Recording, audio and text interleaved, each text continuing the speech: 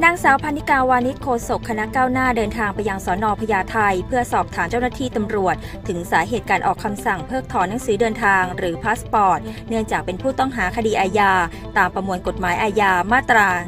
116 ทั้งที่คดียังอยู่ระหว่างการพิจารณาของอัยการ ยังไม่มีคำสั่งศาลห้ามเดินทางออกนอกประเทศนางสาวพรรณิการ์กล่าวว่าคดีนี้อัยการยังไม่สั่งฟ้อง เพราะฉะนั้นยังไม่มีคำสั่งศาลห้ามเดินทางออกนอกประเทศอย่างแน่นอน โดยเจ้าหน้าที่ตำรวจให้เหตุผลว่าแนวทางการปฏิบัติดังกล่าว เป็นไปตามมาตรฐานในคดีความมั่นคง เพราะหากไม่ทำเช่นนี้ เกรงว่าจะเป็นการบกพร่องในการปฏิบัติหน้าที่ แต่ตนมองว่าแนวทางการปฏิบัติแบบนี้ เป็นการละเมิดสิทธิเสรีภาพของประชาชน ซึ่งเกินกว่าเหตุเป็นอย่างมาก รู้สึกเหนื่อยใจ เพราะการเป็นนักการเมืองในประเทศนี้ ถูกปฏิบัติเหมือนเป็นอาชญากร